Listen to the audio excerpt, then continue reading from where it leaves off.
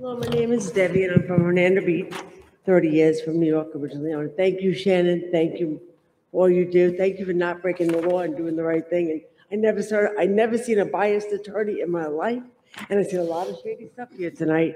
I got to tell you, I've been living here 30 years. My mother is a retired manager from the cafeterias from these schools. My father's a bus driver, and yes, they do need a raise.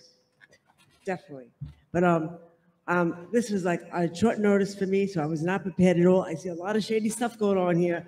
I saw how this whole thing was set up. It was very obvious how the Republicans got, I, very, very shady, this stuff. But um, I wasn't prepared.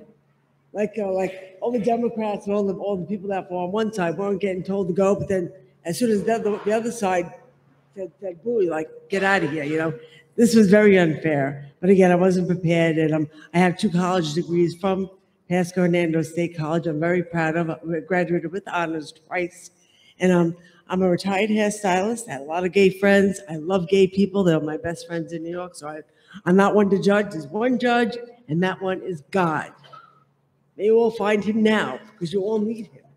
I see that. I'm so glad I'm not from this generation, because that's all about morals and teaching kids math, science, English, and history. None of this Republican, Democrat, um, left and right stuff, this doesn't belong in, in the school system.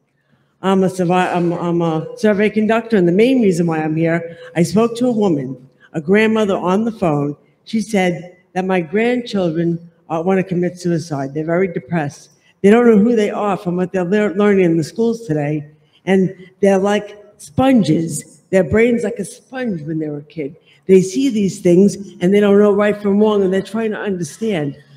I'm so glad I'm not from this generation because this is a mess up here. This is really a mess. I am so disgusted. I'm, I'm, I'm glad I came, but I'm not in the, sa- same sense.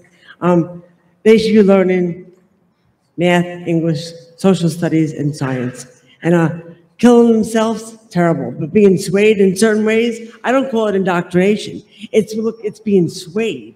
I looked it up today in the dictionary. That's what it means. The kids are being swayed. Now they're trying to find themselves, and they see this stuff on in school. I'd be confused too. I might want to, my, I might want to commit suicide too. But I am so glad I'm not part of this generation because God bless you all, and God bless America. Thank you. Happy with you.